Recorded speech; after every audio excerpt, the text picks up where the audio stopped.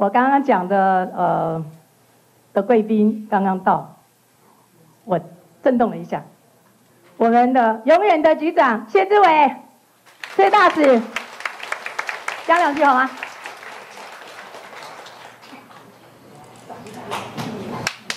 谢谢宝华嫂，还有我很高兴宝华兄，还有我们在德国见了面，在台湾见了面的王丹，还有各位朋友。我其实要跟王丹讲一句话，就是马英九不可能跟你会面，有媒体上、传播学上的理由。你想想看，马英九如果跟你要碰面了，那么第二天媒体上面就会报道，因为他的。他的英文的王丹呐，英文发音比较奇怪，所以媒体可能记者会说，马英九会完蛋，所以他不能跟你碰面。今天，我跟哎，保时亚利后叶水姐也在现场。叶水大姐刚到啊，今天在场的很多朋友，如果从过去的历史来看，下来的有所谓的“俄啊”，有韩籍，有欧啊韩籍，有中国人，有香港大会，有美国的大会，有的中国各代文招来招去。那么是谁让这些人能够聚在一起？理由简单单，就是在中国，还有在台湾。还有在欧洲，在美国，这类世界在过去的几十年里面，半个世纪来的学到一件事情，就是对人的尊重，对人的尊重。因为安呢，所以在中国、在台湾、在世界各地，会有不同的种族、不同的信仰、不同的性别、不同的职业。能够让我们站在一起。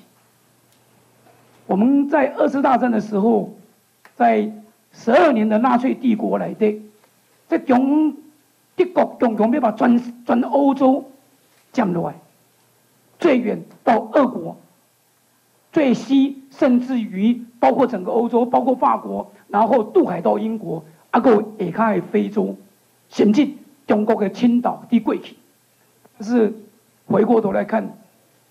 民主、人权、自由，它终究会得胜。啊，这个是今那里咱徛这个所在，大概三角道理真重要一个原因。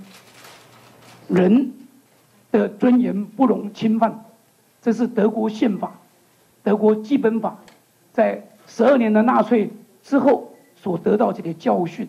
所以，第一的基本法、宪法第一条、第一章第一条、第一条第一句话就是。人之尊严不容侵犯，那么这些让我们站在一起，这样一个理念，做起来人，别使和人交谈，有咱的尊严，这是我大家这个信心，大家信仰。我在这边谢谢宝华嫂跟宝华兄，还有其他朋友大家的努力。咱那卡车会力量就很大，咱那分散就会被他们击败。我想昨天。台湾的民主史上面，两个不大可是很重要的事件哦，一个叫做刘建国，所以留在台湾，留在台湾建国多美丽！谢谢各位。好，这个宝华手工，大家甲台湾加油，这个嘛真久无话吼，所以 go go go，台湾是宝岛，台湾民生袂使倒，台湾民主袂使倒。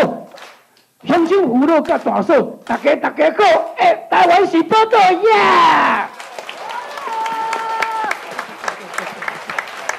太棒太棒太棒了，非常谢谢，加油！好的，接着大家呃等待一阵子了哈，我们的特别嘉宾王丹。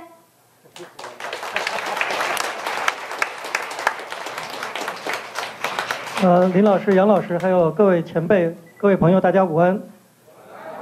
呃，今天很高兴站在这里哈，因为我们看到青年反攻救国团，呃，我还是蛮有感慨的。我觉得过去的呃二十世纪一百多年的历史哈，已经证明，就是共产政权、共产党本质上讲是邪恶的，所以反共应该是一个普世价值。我想，任何尊重人权、民主、自由的人、政党、国家，都应该以反共啊作为自己的一个基本的应该遵守的一些原则。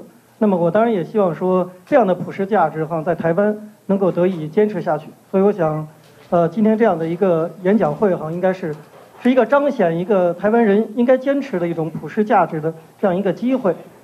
那另外，我想我来参加这个活动，当然也有一个很重要的原因，就是我跟林宝华、杨月清两位老师也算是算是认识非常非常久的这种这种忘年交哈。那他们在纽约的时候，我一九九八年到美国就开始认识他们，而且因为我在哈佛读书嘛，住波士顿，那么每回到纽约来，基本上都会住在他们二位的家里。然后我父母到美国来探亲，基本上也都会住在林老师和杨老师家里。那对我们都有一很多的这种照顾，所以应该讲也算是通家之好了。所以这种支持，我想既是出于道义上的这种同心相求哈，也是出于这种个人情感上也理应的这种这种支持。那么各位也都知道，就是当然在去年政党轮替以后啊，现在两个关系发生了很大的这种变化。呃，在这样的背景下，我们又遇到中共建政六十周年。那么在中共过去的六十年里头，到底？做了什么事情，对中国大陆有什么影响，对台湾有什么样的企图？那么中国六十年我们要给一个什么样的评价？哈，我相信林宝华林老师都会给大家一个非常完满的一个解释。这些年来，呃，林宝华林老师在在我们这些海外异人士中，哈，享有很高的这个声望。我想主要基于两点，一个是我真是很少见到哈像林老师这样笔耕不辍的，啊，其实他年纪比我们都大大一个层次，但是。其实他的这种写作的勤奋呢，远远超过我们这些，让我们年轻人想起来都有点都有点汗颜。这么多年来，他积累了大概得有几百万字的这种写作量啊。那包括在网络上，林老师也是花了很多的心血。其实几几千几千字、几千次、几千万字的这种这种写字量，我想这种影响以后一定会在历史上留下一个痕迹的。那么第二点，我觉得林老师给我一个很大的一个鼓舞和启发哈，就是他这种。坚持对这种基本价值的坚持啊，这么多年来，其实我们也看到，不管是台湾走的民主道路啊，还是大陆海外民运去追求改变中国所走过的历程，其实也是几经坎坷。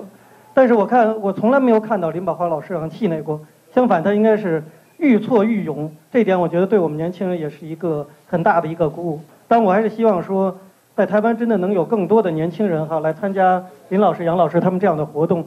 让这种基本的普世价值能够延续下去。那么至于具体的，就是对中国的这种认识，我们当然我们相信林宝华老师一会儿会给大家有很精彩的评论。等他评论完之后呢，也许我有些意见再跟大家做交流和分享。所以再次谢谢大家来到这里，谢谢。谢谢谢谢王丹，我也恭喜他学业有成。我先生呢不放心，给我下了一张纸条，说怎么漏了黄大姐讲话。我怎么会忘呢？你想想看，这么有分量的人，我当然是要摆在后面呢，对不对？他怎么可以摆在王丹前面呢？我们最爱的黄月虽国策顾问黄大姐，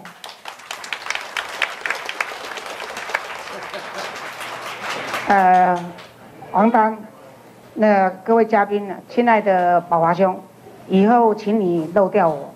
我通常没有钱的演讲，我是不太想讲的。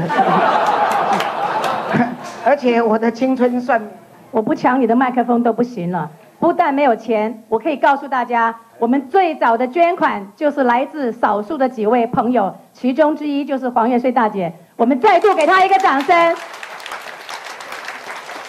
我今天呃呃，今天是廖中山教授呃去世十周年，我跟呃中山廖教授中山嫂林彩玲女士请假。我刚想说，今天这一场非常重要，因为呢，这里面呢关系到，因为在呃廖中山教授没没贵姓一景，他去世前哈，呃，把他送回家里的时候，那那时候我刚好在全民电台，比专门电台在主持主持节目的时候，我跟他做最后的这个 call out，那个通过话，那那一幕永远都在我心头，就是一个一位中国。到台湾的外省老兵，最后死前还是记着要为台湾独立建国运动来付出，所以我们在这边借林宝华的场来纪念廖仲山，请大家给他掌声鼓励，给这位大师。那我只要跟王丹讲说，王丹，中国是一个很大的国家，伟不伟大，你心中有数。但是呢，还有中国的人民也无辜，中国的山水美丽，中国的文化可以交流。但是呢，目前的中国共产党实在是可恶到极，所以我们对你的期待是你赶快回去干掉他们，我们就可以自由自在的到中国去。好，谢谢各位，谢谢，祝演讲成功。谢谢谢谢，非常感谢。好，那么现在我们就进入正题。